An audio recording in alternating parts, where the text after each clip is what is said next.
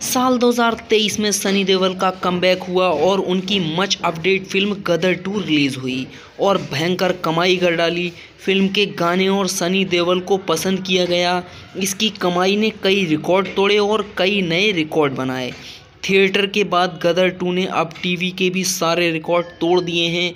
बीते 31 दिसंबर को गदर टू का वर्ल्ड टेलीविज़न प्रीमियम हुआ। उसके इस प्रीमियम ने टीवी की दुनिया में इतिहास रच दिया। जहाँ इतने सालों से सैटेलाइट मार्केट ठंडा पड़ा था, वहाँ गदर टू के प्रीमियम के बाद ये सबसे ज़्यादा टीआरपी पाने वाली फ़िल्म बन गई पिंक विला से जुड़े हिमेश ने ट्वीट करके बताया कि गदर टू कोरोना काल के बाद टीवी पर सबसे ज़्यादा देखी जाने वाली फ़िल्म बन गई। पिछले तीन सालों में गदर टू की टीआरपी सबसे ज़्यादा रही।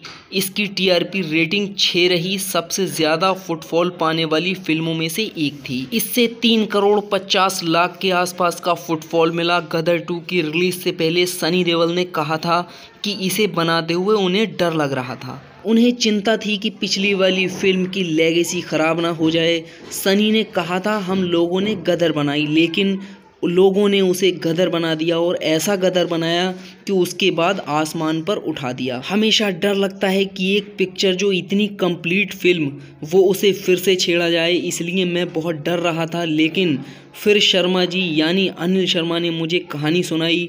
वो अपने आप में एक गदर थी। उम्मीद करता हूँ कि ये वाली भी गदर बनेगी। ये तभी होगा जब आप लोगों को फ़िल्म पसंद आएगी। मुझे यकीन है कि आप लोगों को ये फ़िल्म ज़रूर पसंद आएगी। 11 अगस्त को गदर टू पर्दे पर लगी और कई तोड़ दिए। इस फ़िल्म ने टिकटों की बिक्री के मामले में शाहरुख खान की फ़िल्म को पछाड़ दिया। सत्रह दिनों में गदर टू ने देसी टिकट खिड़की से चार सौ छप्पन करोड़ पाँच लाख रुपए के आसपास की कमाई की, जबकि पठान ने इतने दिनों में चार करोड़ रुपए की कमाई कर ली थी। गदर टू ने देश भर से 500 करोड़ रुपए का कलेक्शन किया। ऐसा करने वाली हिंदी सिनेमा के इतिहास की तीसरी फ़िल्म बनी। इससे पहले बाहुबली टू और शाहरुख खान की पठान ने ये कारनामा किया था। मगर गदर टू सबसे तेज़ी से 500 करोड़ कमाने वाली फ़िल्म बन गई। इतना प्यार बटोरने वाली ये फ़िल्म आपको कैसी लगी, हमें कमेंट सेक्शन में ज़रूर बताएँ। ऐसी ही जानकारी पाने के लिए आप हमारे चैनल को सब्सक्राइब कर सकते हैं। मिलते हैं कल नेक्स्ट वीडियो के साथ। जय हिंद।